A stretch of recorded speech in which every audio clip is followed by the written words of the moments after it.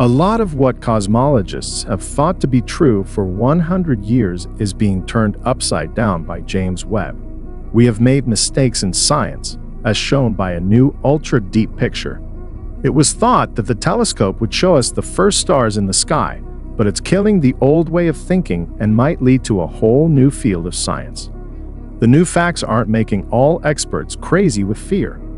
A lot of scientists are glad about the changes because it was clear for a long time that our old ideas were wrong. The differences in how the growth rate of the universe was measured should have woken researchers up years ago, but they didn't listen to the warnings and stuck to old ideas. Light from the cosmic microwave background, or CMB, is thought to be the oldest light in the world. The CMB was made about 380,000 years after the Big Bang, when the universe was cool enough for electrons and protons to join together to make stable hydrogen atoms. This process is known to scientists as reionization, and it opened up the world to light. The American scientists Arno Penzias and Robert Wilson were the first to find the CMB in 1964. The two experts were working on a new kind of antenna technology when they heard noise coming from all over the sky. For a long time, this find was seen as one of the best proofs of the Big Bang Theory. The names Penzias and Wilson will always be linked to the Nobel Prize in Physics. The CMB probably shows a picture of how the world looked when it was young. A lot of information about what the world was like right after the Big Bang can be found in tiny changes in temperature. Scientists use the CMB to get a good idea of the basic parameters of the material universe. For example, they use it to find out how fast the universe is expanding. This math had been done before by scientist Edwin Hubble in the late 1920s.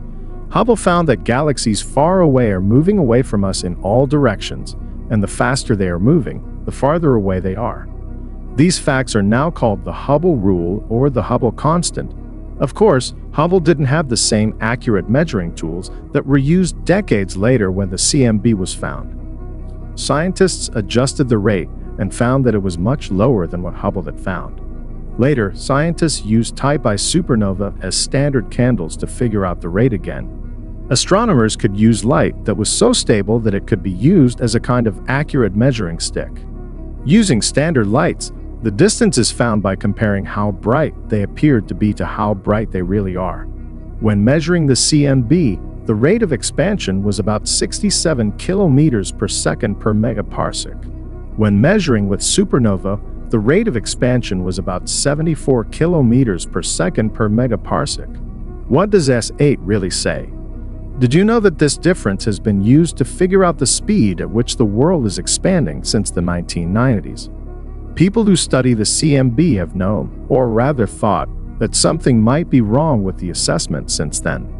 The ways of measuring things, or the idea that the world is expanding. The difference in the measured rates of growth of the universe is called the S8 tension or Hubble tension in the scientific world.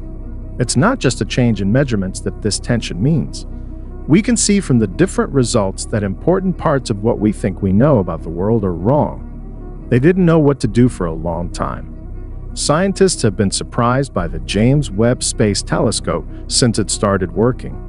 These surprises may now help them figure out how fast the universe is expanding.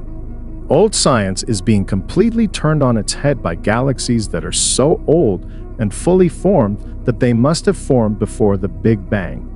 In astrophysics, gaps or changes in measurement are no longer talked about. Scientists are chatting about the most important problem in modern science. The rate at which the universe is expanding might be wrong, and the idea of growth, or the Big Bang itself, is being tested. Webb's pictures show us a world that is very different from what we thought for a long time. The tension in S8 was the first sign, and now all researchers who still accept the old theories are in trouble.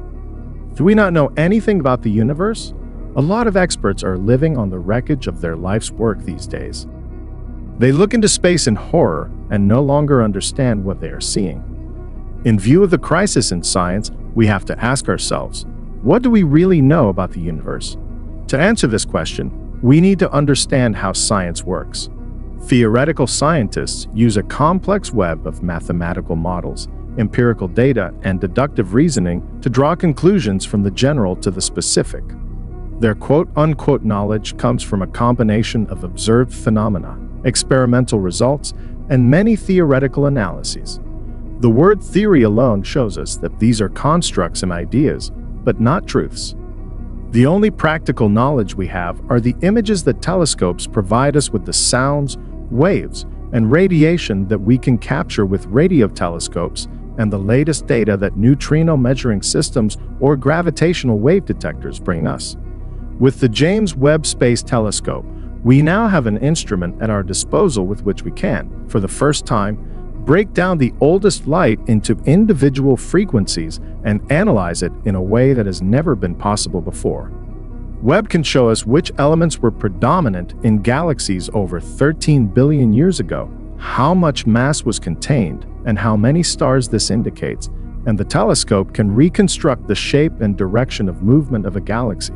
But Webb can also have weaknesses in some images. For example, the telescope cannot determine with certainty whether we are really seeing galaxies or black holes that shine just as brightly as a galaxy due to huge accretion disks. We have to face the fact that our science has long developed in a way that has accepted too many eventualities as truths and has long disregarded alternative explanations. Research has long been certain that it is right.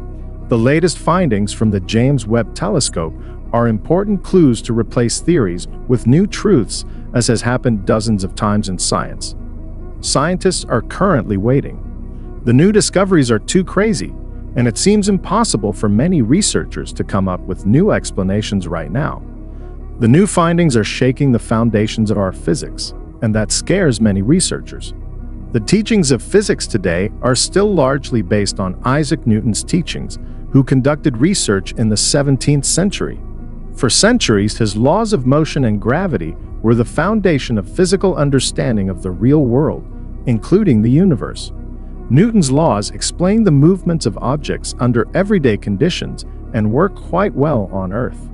In space, however, his ideas had to be extended, and this was largely done by Albert Einstein at the beginning of the 20th century.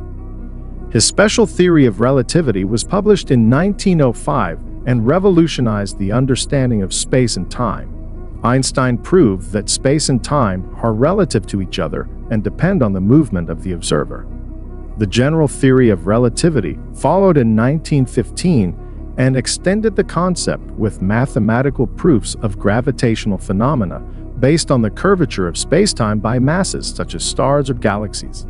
Einstein's laws and ideas were coherent in many areas, but he also reached his limits. The researcher knew during his lifetime that his theories would never be sufficient to describe the universe as a whole. He dreamed of finding the world formula, but he did not succeed. Incidentally, no other researcher has succeeded to this day. Where is the mistake? Wouldn't it be interesting to know where the mistake lies? Michio Kaku, the popular astroscientist from the USA, said in an interview that the person who solves this problem is sure to win a Nobel Prize. Let's see what facts scientists may have overlooked. Where have they possibly misinterpreted phenomena? Or are our telescopes to blame? At the top of the list of suspects for the real causes of the cosmological crisis are dark matter and dark energy. Our current models of the universe include concepts that dark matter and dark energy together make up about 95% of the universe. However, neither has ever been directly observed, and consequently their real existence has never been proven. Either they do not exist at all, and we have to explain the expansion of the universe and the dynamics in galaxies differently. Or perhaps both have properties that we do not yet know of. One idea currently under discussion is that the physical properties of the two dark components have changed over time, which could even mean that we are dealing with some kind of intelligence. The next thing to be put to the test is gravity. This force, which supposedly leads to attraction through mass or curvature in spacetime through mass, has not yet been proven. The ideas of space-time curvature originate largely from Einstein and have been proven true many times over.